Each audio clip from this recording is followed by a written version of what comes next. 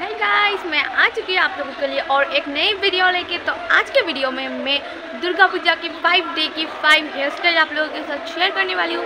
तो वीडियो को स्किप ना करके फुल वीडियो वॉच करना। और अगर आप लोगों को ये हेयर स्टाइल अच्छा लगा तो प्लीज़ इसका अपने फाइव डेज़ के लुक में इंक्लूड कर लेना। और अगर ये वीडियो अच्छा लगे तो प्लीज़ लाइक कमेंट शेयर करना मत भूलना। और आप लोगों ने अभी तक अगर मेरा चैनल सब्सक्राइब नहीं किया तो प्लीज़ मेरे चैनल को सब्सक्राइब कर लीजिए। और उसके पास में जो बेल आइकन है, उसका प्लीज़ क्लिक कर लेना। मेरे वीडियो की नोटिफिकेशन सबसे पहले आपके पास पहुँच जाएगी।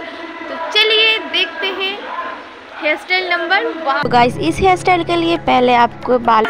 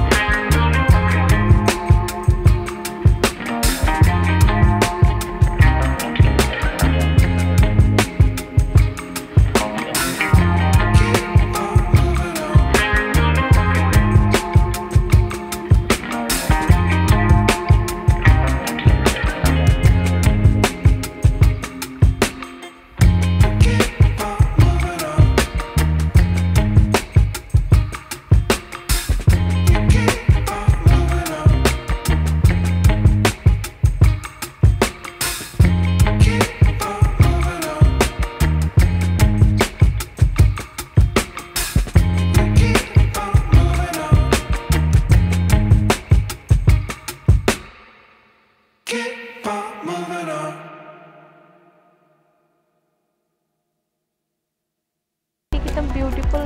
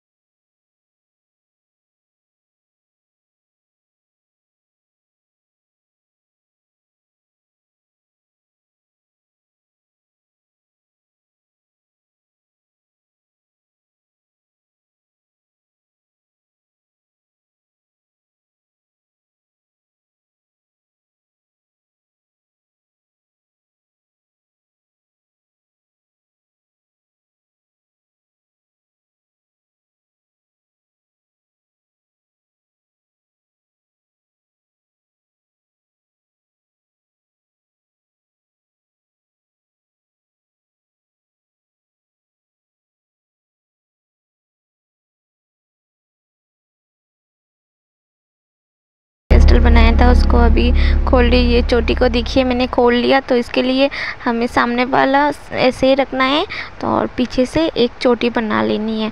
तो देखिए, ये चोटी बना लिया है मैंने तो ये भी बहुत ही ब्यूटीफुल लगता है। ये सिंपल सा है, और अगर आप लोगों को ये ज्वेलरी इसके साथ नहीं पसंद आ रहा तो आप मेटल की ज्वेलरी भी लगा सकते तो देखिए, ये कितना ब्यूटीफुल लग रहा है। आप लोगों ने देख लिया। पाँच लुक मतलब कि पाँच हेयर स्टाइल आप लोग अभी जो हेयर स्टाइल देख रहे हैं, मैंने खुद वो पर्सनली मतलब कि लास्ट ईयर दुर्गा पूजा में नवमी के दिन इस तरह मैंने लुक क्रिएट किया था और ये हेयर स्टाइल किया था। तो यही ड्रेस था मेरा नवमी के दिन तो उसके साथ ये हेयर स्टाइल मैंने क्रिएट किया था।